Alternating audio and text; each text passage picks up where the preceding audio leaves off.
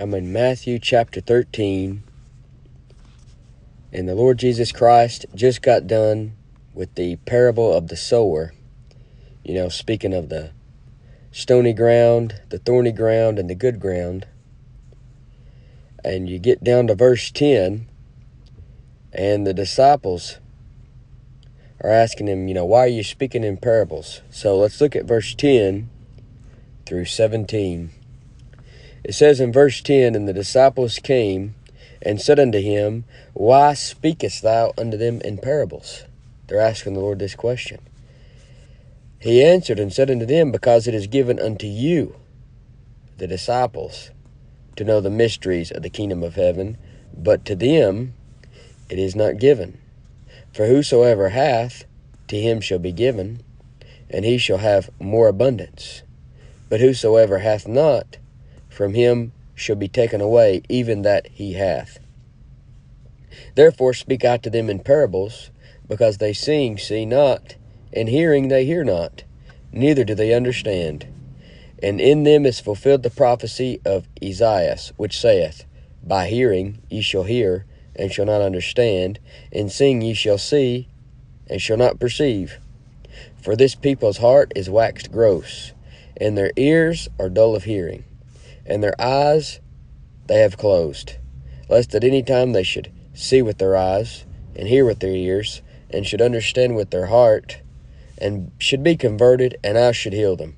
But blessed are your eyes, for they see, and your ears, for they hear. For verily I say unto you, that many prophets and righteous men have desired to see those things which ye see, and have not seen them, and hear those things which ye hear, and have not heard them. So let's talk about how you can begin to understand the greatness of Scripture. You know, there's a lot of people that the Word of God is not precious to them. But you understand the greatness of the Scriptures, how great they actually are, the greatest thing in the whole world. And I'm going to tell you my journey of understanding is how great the Scriptures are. So, looking at verse 10, the first thing I did when I got saved, I didn't know much about the scriptures. I didn't know much about the Word of God. I didn't know much about all that seed that had been sown in my heart. So, the first thing I did was ask questions. You want to understand just how far this scripture goes, you need to ask questions. You know, anytime you want to know something, you want to learn something, go further along, you start asking questions. I'm constantly training a new person at work, and when I get somebody that starts asking questions, I'm thinking, this person's going to get somewhere. When you get somebody that doesn't ask any questions, you're thinking this guy has no interest in doing this job. So when you first get saved, or even beyond that, you want to ask questions. There's always going to be questions. Question shows an interest. Question shows that you're trying to learn. Question shows that you're even studying. So you ask questions. Look at what the disciples did. Verse 10 And the disciples came and said unto him, Why speakest thou unto them in parables? You know, he, they're wondering, why did he tell them this parable? Why didn't he just tell them the thing just outright with just get straight to the point? So they're asking this question. And that's what you want to do. You want to ask the author. You know, you have a book. This is the only book that the author goes with you everywhere that you go. If you're saved, you're carrying the author with you everywhere that you go. You've got Christ in you, the hope of glory. You can ask the author. And in Daniel 2:22 it says he knoweth the deep and secret things. There's nothing that you can ask him that he's not going to know the answer to. And you know, uh, back there King Solomon, the wisest man that ever lived, he had great people coming from a long way to ask him hard questions. And you know what? In Matthew 12:42, Jesus is called calls himself greater than Solomon. He said, A greater than Solomon in here is here. you know, another reason why it's good to ask questions is because it shows humility. It shows you're not proud. When you can ask somebody a question, you're saying, I don't know everything. It, shows a lot about a person who's going to ask a question. It shows a lot about you to the Lord when you ask Him a question. It takes humility.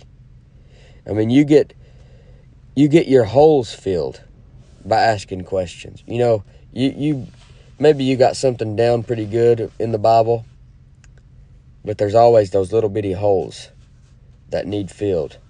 And once you get that further understanding, that hole's filled and you can move on to the next thing. And then that's got little holes that need to be filled. You get your questions answered and you can move on to the next thing. Asking questions, it, it helps you perfect that which is lacking in your faith. You know, he said to the Thessalonians to perfect, he talked about perfecting that which is lacking in their faith. And, you know, preachers, teachers, pastors, Ephesians 4:12 says, "They are for the perfecting of the saints, for the work of the ministry, for the edifying of the body of Christ." You know, you ask the Lord a question, you're showing humility, you're showing him you want the truth, and he can send you somebody to answer that question. He can show you the answer in the Word of God itself. You know, imagine a question and answer session with the Lord Jesus Christ Himself. That's what the disciples had here a question and answer session. Imagine the opportunity. But the thing is, you do have the opportunity. Every day, you got the Word of God. Ask the Lord a question, and He can show you the truth out of the Scriptures. Search the Scriptures daily. Verse 11 says, Now here's the Lord's answer. They asked the question, here's His answer. He answered and said unto them, Because it is given unto you to know the mysteries of the kingdom of heaven, but to them it is not given. You see, some are going to have understanding, some are not going to have understanding. And it all goes back to will you believe? The more you believe, the more you're going to understand. The less you believe, the less you're going to understand. It was given unto the disciples to know the mysteries, but not to all these other people. So it was like the parables would further along the understanding of the disciples once he explains it to them. But for all the non believers out there, it concealed the truth from them. And the Bible's like that too. If you believe the Bible and you want to learn the Bible, you're a saved Bible believer, God will open the scriptures to you. If you want to reject the Bible and not be a Bible believer, God will conceal the truth from you. So the Lord wants to reveal things to the humble, to the sincere, to the believing heart, but like the disciples were, but to the proud and the exalted and the critical heart, they're just going to stay blind. Let's look at a few verses to go along with that. Luke 10 21. In Luke 10 and verse 21, it says, In that hour Jesus rejoiced in spirit and said, I thank thee, O Father, Lord of heaven and earth, that thou hast hid these things from the wise and prudent, and hast revealed them unto babes. Even so, Father, for so it seemed good in thy sight. You see, there's some things that are hid from the wise and prudent. There's things that are hid from these know it alls, these proud, these exalted, critical hearts, and they're going to stay blind. But he reveals them to the believing heart, the common man that is not trying to be puffed up, not, not trying to be proud, just wants to know the truth. So he reveals it to him. And if you want to understand and realize how great the scripture is, you need to ask questions. And then another thing, like I said, you need to believe what you see and what you hear when it comes to the scriptures. You know, when, when Jesus spoke, the disciples believed what they heard they saw him do miracles and they believed what they saw. They weren't trying to say, "Well, this is sorcery.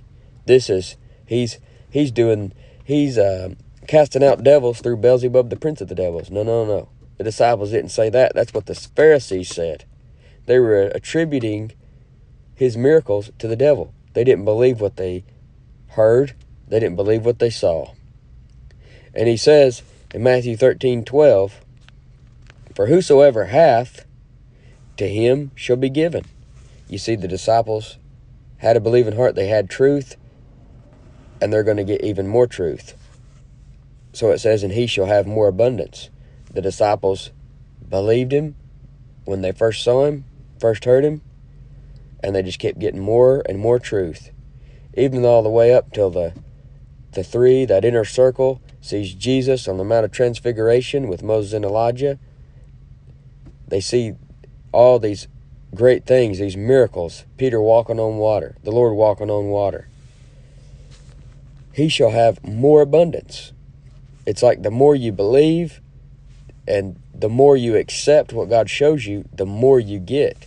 And that has, I've seen that over and over and over again in my Christian life. It's like it never stops.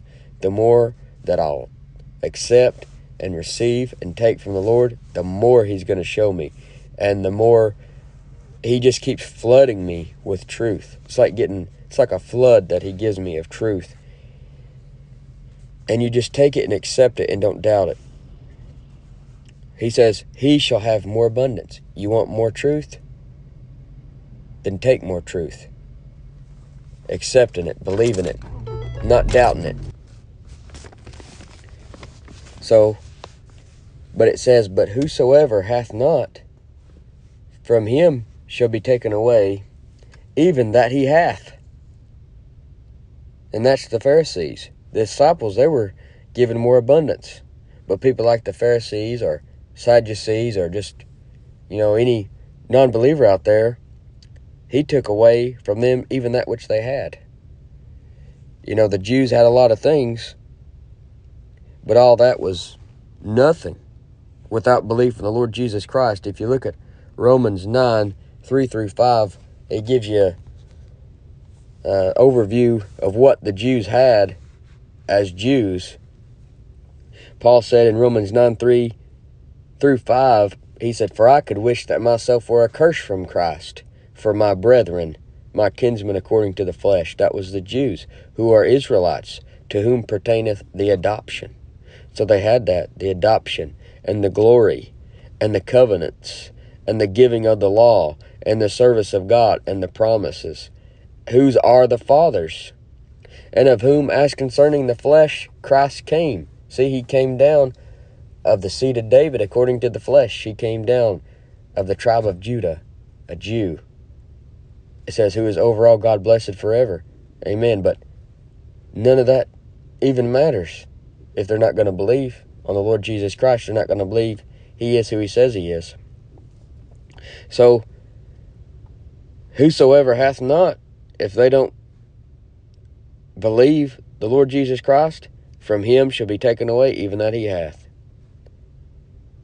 They lose any advantage they had as being a Jew when they don't believe on the Lord Jesus Christ. You know, over in Romans, uh, he also says, What advantage then hath the Jew? Well, they had the oracles of God. We got the scripture from them. But if they don't believe it, what good is it? So you want to believe what you see and hear. You got to. to if you're going to understand the greatness of Scripture and realize how great it is, you're going to have to believe what you see and hear. The disciples have all that and more because they accepted John, they accepted the preaching of John, they accepted the preaching of Jesus and his word. And look at what Peter and John go on to see. Look at the book of Revelation and all that that John, the apostle John, went on to see. Look at what Peter went on to see and do all through the book of Acts. And wrote in his own wrote his own epistles even. The more you accept what God says, the more abundance you'll get. For whosoever hath, to him shall be given, and he shall have more abundance. You know, back when I got saved, I didn't know anything about the Bible. I didn't know anything about the Bible version issue. I remember uh, I had a New King James version that I just had before I was saved. And, you know, at the, the church I was attending, they had all types of different Bibles. I didn't know nothing about the Bible version issue, but maybe a week or two after I got saved, I was in I was shown the Bible version issue, and I was shown that the that the King James was the right Bible. And at this time, I didn't know the difference between. I, I thought that the King James and the Authorized Version were two different Bibles. I remember thinking that, but I found the truth that those the modern versions are not what I need. I, I needed the King James, and I accepted that truth, and uh, I, I was led to the right people that showed me that the Bible doesn't have have errors in it, and I've I've not struggled with doubting the Bible. I've I've never struggled with doubting the Bible since I was saved. I just take it for what it says and leave it at that. And that's the best thing you can do. Why waste time with people who are constantly trying to get you to doubt the scriptures? It's like when I talk to people and talk to people around or at work or just anywhere, they're constantly trying to get me to doubt the King James Bible, doubt the scriptures. And, I, and I, all I tell them is, all I'm going to tell you is, I don't know have all the answers, but I've got a Bible in my lap and it's 100% right, and you can go to it and get the Word of God 100%. I said, What is wrong with that teaching? And they said, Well, the King James has got errors in it. And I said, What spirit is telling you to tell me that? You're telling somebody who has 100% faith in the Word of God that it has errors in it. What does that remind you of? Well, it reminds me of Genesis 3. And in Genesis 3, what does the devil say? Yea, hath God said. Hath God said, You shall not surely die to Eve? the first thing he wants to, to get her to do is doubt the Word of God. Well, that's what she does. And that's what these guys want me to do. They want me to doubt the Word of God and they want to show me errors in it to get me to not believe what I see and hear.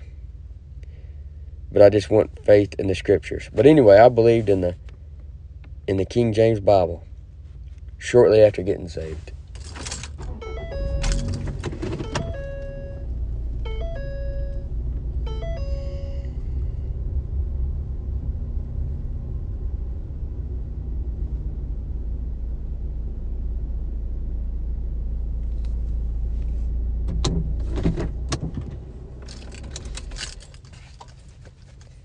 I got saved hearing a man, uh, when I heard a man named Danny Castle preach on hell. I believed the gospel. I got saved. And I learned all kinds of truth from him. I wanted more truth. And the Lord led me to Peter Ruckman. I got a lot more truth from him. The Lord led me to Hoffman. I got a lot more truth from him. And then Lord led me to my pastor that I currently have now, Donnie Dalton. I got truth from him. I got truth. I, I said, I want even more truth. Send me somebody else to give me something else that I don't have. Lord led me to Bob Alexander. I got all kinds of truth from him. I wanted somebody, I wanted him to send me somebody else to give me more truth. And I, somebody introduced me to Art Martin and Nathan Bemis. You know, you just, even now I'm praying, you know, send me somebody else that's going to even lead me further along the way. And you say, well, you just, you, uh, you put too much, too much, uh, emphasis on men.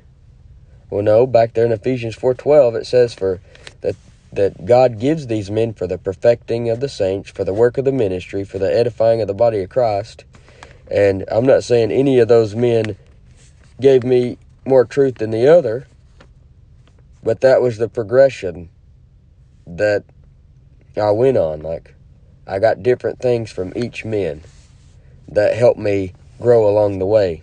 That was just the order that they happened to be in. But you know what? You can believe what you see and hear because Jesus Christ Himself is called a faithful witness. Revelation 1 5. He's faithful. He's a faithful witness. And what he says, you can believe it. And he's faithful. You know, Peter got to see and hear many things. He saw many miracles. He saw many things happen. And you know what he said in his epistles? He said, Now we got a more sure word of prophecy. That's the scriptures. He believed the scriptures was even more sure than what he saw with his own two eyes. His belief of what he saw and heard led to better things. It led to a more sure word of prophecy. He would have never got the more sure word of prophecy if he didn't believe what he saw and heard. And, you know, I've talked to people, they say, well, don't you think that those Old Testament stories and those stories in the Gospels are a bit embellished? He looked at me and with a serious look on his face and said, don't you think those, I think I was talking about Samson, you know, killing a thousand men with the jawbone of an ass or tying 300 fo- the tails of those foxes together. And he said, don't you think that's a bit embellished? I heard uh, Bill O'Reilly say, and I don't watch the news. I just heard him say on a clip. He said uh, that the Old Testament it's it's good moral stories, or it's it's good stories, but it, they didn't actually happen. And he, he, I don't care how smart he is, he he done lost it. You got to believe what you read in the Scripture. You know how they say you can't believe everything you read what you can in the Bible. You can believe what you see and hear. And that's how you begin to understand the greatness of Scripture. You begin, you begin to realize how great it is. You just keep believing it. You know, I didn't see God do the creation. I didn't see Him throw the stars out there. I didn't see Him put up the sun and the moon. But He made in me a new creature. I've not seen him heal people. Like like he healed the man with leprosy, like he healed the blind man, the dumb man. I've not seen any of that, but I've I've seen answered prayers. I've not seen the creator face to face, but I've seen his creation. And you can't deny him when you see his creation. For the invisible things of him from the creation of the world are clearly seen, being understood by the things that are made even his eternal power and Godhead, so that they're without excuse. So you want to ask questions, you want to believe what you see and hear, you want to look for explanations. You know, uh, when I come to something in the Bible I don't understand, I don't doubt. I don't think that the Bible is wrong. I just look for the explanation. And if I can't find the explanation, I'm cool with that yeah, somebody, a lot of people come to me with these so-called errors in the King James Bible, and I don't know all the explanations to them. I can look for an explanation, but if I, I don't find one right away, or if I never find one, I don't doubt it. I, I don't doubt the scriptures. I just believe that there is an explanation, and I just go on about my day, and I just go on reading the Bible and studying the Bible and believing the Bible. When you find something you don't understand, don't doubt the scriptures. Just look for an explanation in the scriptures themselves, comparing spiritual things with spiritual. 1 Corinthians 2.13, you know, compare spiritual things with spiritual. Isaiah 28, 9 through 10, you go here a little and there a little, you, you find the explanation. And if you don't, uh, don't doubt it. You see, all these non believers out there, those Pharisees, those Sadducees, and all kinds of them, you know, he came into his own, his own received him not. They didn't believe. So he says in verse 13 of chapter 13, you know, and watch out for the 13s. He says, Therefore speak I to them in parables, because they seeing, see not, and hearing, they hear not, neither do they understand. And they don't look for an explanation, they just doubt. They don't want to believe. They want to be in the dark on it. So you look for an explanation. Even if you can't find the answer, don't doubt, only believe. You see, Jesus is without spot. 1 Peter 1 9, he's a lamb without blemish and without spot.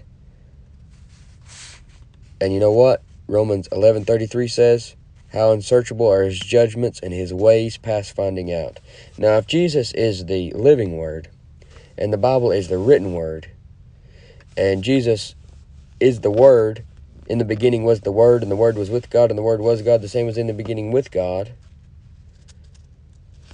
And the word was made flesh and dwelt among us. If, if the living word is perfect and his ways are past finding out, wouldn't it make sense that the written word is perfect and its ways past finding out? There's going to be things in there that you don't have an explanation. You can't find an explanation. You can't find all the answers. You don't understand it completely. You can look for the explanation, but even if you don't find it, oh well. We know that the Bible is right. We believe what we see and hear. We can ask questions, but maybe the author is not wanting to give you that answer. Maybe there's some things in the Bible that he's going to reveal later on. You know, like back there in Daniel, he said, you know, seal up these things. Remember? He, what, he wasn't ready to give that out.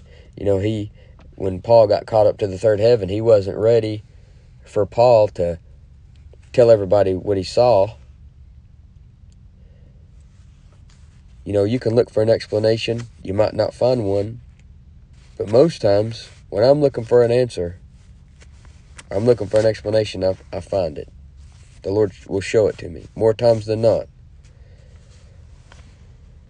In Isaiah 6:10, Israel couldn't see, hear, or understand.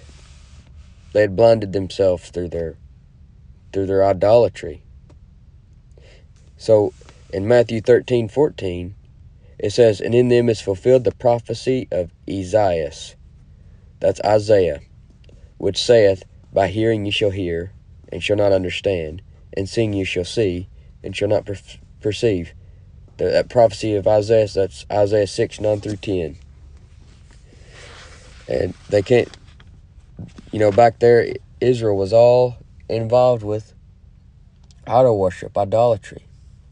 And they became just like their gods. And then this people here just like that. They can't see and they can't hear and they can't understand. They became like their father like their fathers who were idolaters. Back there in Psalm 115, 4 through 8. Look at this. It says in Psalm 115, 4 through 8, Their idols are silver and gold, the work of men's hands. They have mouths, but they speak not. Eyes have they, but they see not. They have ears, but they hear not. Noses have they, but they smell not. They have hands, but they handle not. Feet have they, but they walk not. Neither speak they through their throat. They, now look at this, they that make them are likened to them. So is every one that trusteth in them. Then it says, O Israel, trust thou in the Lord. He is their help and their shield. You see that? They became like their idols and then these Pharisees, these Sadducees, these unbelieving Jews, they became like their father's idols. And they are of their father, the devil. 2 Corinthians 4 4. Let's look at this. 2 Corinthians 4 4.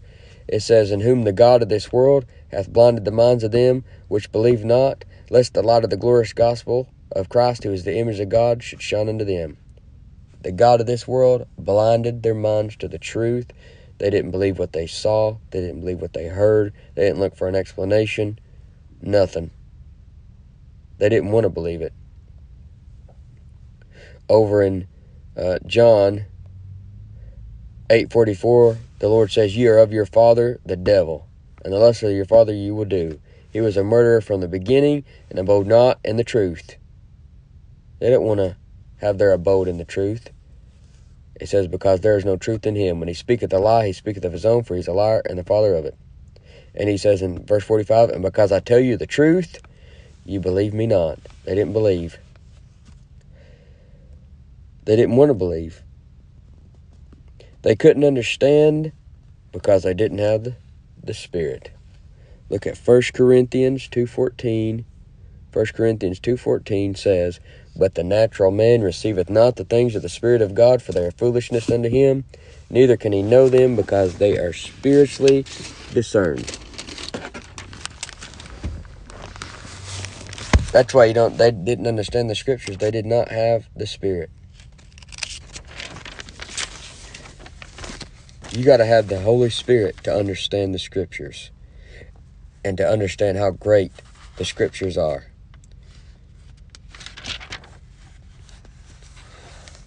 So, verse 4, verse 15, for this people's heart is waxed gross, and their ears are dull of hearing.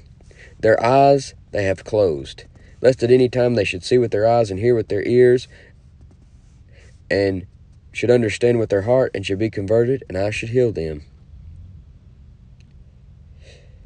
You see, no matter how crazy it sounds, just believe. They see it with their own two eyes. They saw it with their own two eyes. But since they're spiritually blind, they didn't accept what they saw with their own two eyes. They heard with their own two ears. But since they were spiritually blind, they didn't understand. Just, you know, Nicodemus, one of them that ended up believing, you know, in John 3 3 through 12, he couldn't understand that concept about being born again. But he he just kept on believing anyway, even though he didn't get it yet. And that's the way you got to be when you approach something you don't see or you don't understand. Just keep on believing anyway, and you'll get it. Now, verse 15 For this people's heart is wax gross, and their ears are dull of hearing, and their eyes they have closed, lest at any time they should see with their eyes, and hear with their ears, and should understand with their heart, and should be converted, and I should heal them. So, the next thing you want to realize the greatness of Scripture, you want to be a Bible believer, you need to have a soft heart towards the Scriptures. These people's heart was waxed gross. That means it's it's grown fat. Their heart was fat. They, in the sense that you know the truth, it couldn't penetrate it. It's too many layers, too many layers of unbelief to penetrate their heart. It grown, it waxed gross. It grew fat. It couldn't be pricked. You know, over there in Acts two, it says, you know, the preaching of Peter, it pricked them in their in their heart. You can't prick the Pharisee's heart because it's fat. It's grown fat. So many thick layers of unbelief. you know, some people will believe anything except the Bible. They'll believe all kinds of stuff. Evolution, the Big Bang. You know, that we're just living, none of this is real. We're just, we're living in a simulation, they say. They won't endure sound doctrine because their dull ears are itchy. 1 Timothy 4 3. They don't want to believe the sound doctrine. They'll believe anything but that. They, they heap to themselves teachers having itching ears. Their ears are dull of hearing. Their eyes have they closed. You know, over there, uh, Jonathan got a little bit of that honey and his eyes were enlightened. Just get you a little bit of honey, the Word of God's compared to honey, and your eyes will be enlightened. You believe it, and then you believe a little bit more, you believe a little bit more, and you're going to eventually see. And it's all going to come together. And you're going to see what you've been missing all this time. Just believe. So he says, Lest at any time they should see with their eyes, hear with their ears, and should understand with their heart, and should be converted, and I should heal them. You know, the parables were to give illustration to teach those who wanted to hear the tr- hear and know the truth. But to the blind uh, and those that reject the truth by their hard heart, uh, it, it, was the the parables was to conceal the truth. So it's like Jesus Christ, you know, he's the stone of stumbling, he's the rock of offense. To those who were who believed on Jesus Christ, he's the rock of protection. But to those who reject Jesus Christ, he's the stone that's going to grind them to powder. And that's where the Word of God is. That's where these parables were. The Word of God will make you or it'll break you. The parables could give illustration to you and really nail that truth into your heart. Or it could blind you even further. You know, you You get in the Word of God and you believe it, it'll be the best thing that's ever happened to you. You get into the Word of God and don't believe it, and don't believe in the Lord Jesus Christ, God will allow the Word of God itself to damn you to hell.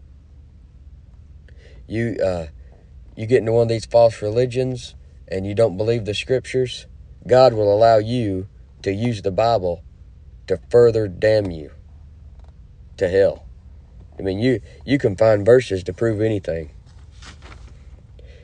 But along the way of finding verses to prove anything, you got to reject a bunch of verses. So you need to have a soft heart towards the scriptures. You know, many times Jesus, like in Mark 141, he would look on people with compassion. And you know, God had to look on people with compassion to come down in the flesh and die on the cross. Why can't you look on him with compassion? Like why can't you have a soft heart towards scripture? Why is it that the moment you hear anything, the moment you hear sound doctrine, the moment you hear the scriptures, you automatically become critical and negative and you have a hard heart towards the scripture? Why not show him the same compassion and soft heart that he showed you? In Mark 141, he looked on a man with compassion, a man with leprosy. If Jesus, who is perfect and without spot, can look on a man that's got leprosy, full of spots, and have compassion, why can't you look on the Holy Scriptures with compassion? You know, and it says, and he says in verse 15, he said, Lest at any time, now he's talking about those unbelievers here who the parables the parables conceal the truth to them. He says, Lest at any time they should see with their eyes, and hear with their ears, and should understand with their heart, and should be converted, and I should heal them. You know, he's using the parables to get them further along down the road of unbelief. You know, after a long time of rejection, the Lord just may blind you to the truth. And God's not going to convert an unbeliever any more than he would let Adam eat of the tree of life in his sinful state. You know, they put up that that put that cher he put that cherubim in the way of him taking the tree of life so he wouldn't get in there and eat off that tree in his sinful state. And he's not going to let an unbelieving heart be converted any more than he let Adam eat off that tree of life in his sinful state. So he says, lest at any time they should see with their eyes and hear with their ears and should understand with their heart and should be converted, and I should heal them. You know, they had they just accused him of casting out devils through Beelzebub, the prince of the devils, and they they've they've hardened theirself just like Pharaoh hardened his heart before God ever hardened his heart. You see, God just didn't harden Pharaoh's heart and, and, and damn him of, against his will. You know, Pharaoh hardened his heart many times before the Lord hardened his heart. So, the next thing, you, you go as far as your faith in the Lord. You're going to go as far as your faith in the Lord Jesus Christ. So he says in verse 16, But blessed are your eyes, talking to the disciples. Blessed are your eyes, for they see and your ears, for they hear. And if you look over at Matthew 16, 16 through 17, it says, And Simon Peter answered and said, Thou art the Christ, the Son of the living God. And Jesus answered and said unto him, Blessed art thou, Simon Barjona, for flesh and blood hath not revealed it unto thee, but my Father which is in heaven. You see, Peter believed, and he said, Flesh and blood haven't hasn't revealed it to you, but my Father which is in heaven. You know, the under understanding the scriptures and how great they are, and realizing how great they are, that doesn't come from flesh and blood. That comes from God Himself. And you go as far as your faith in Him. And the more faith you put in Him in the scriptures, the more truth from heaven, the more light from heaven you're going to get. That just regular flesh and blood can't reveal to you. You know, I named off all those pastors and teachers earlier. If it wasn't for God in heaven revealing to me things through them, I wouldn't have got any further on down the road because flesh and blood can't reveal it to me. It has to be God in heaven. You go as far as your faith in Him, and He reward. He's going to reward you with more understanding the further along you go with your belief and your faith. You know, some things are hard to understand until you get light on it. Like over in Second Peter 3.16, Peter talks about how some of the stuff Paul said is, is hard to be understood. And it is, but you got to ask questions. You got to believe what you see and hear. Look for explanations. Keep a soft heart towards the scriptures. And you go as far as your faith in Him. And you can surpass your teachers. That shouldn't be your motive, but you you'll end up even surpassing your teachers if you will believe. Like that shouldn't be your motive, but you know, a good teacher will teach you everything he knows and then teach you how to surpass him. Because he's given you all that he knew that took him hours and hours and hours to get and then he's giving you and giving it to you in a shorter time span that way you got time to take it further than he took it if you will believe i like what david says in psalm 119 99 through 100 in psalm 119 99 through 100 it says this It says, I have more understanding than all my teachers, for thy testimonies are my meditation. I understand more than the ancients, because I keep thy precepts. You you read you read this word and you believe it and you keep it, you're going to surpass your teachers. And he says in verse 17, For verily I say unto you, that many prophets and righteous men have desired to see those things which ye see, and not seen them, and hear those things which ye hear, and have not heard them. You see, the Isaiah the prophet wrote a bunch of things that he didn't understand, but then the disciples saw the very thing he was writing about and understood it. Many of the things the disciples didn't understand, we understand. Many things the prophets didn't understand, we understand because you know he's he's continuing to reveal truth as time goes along.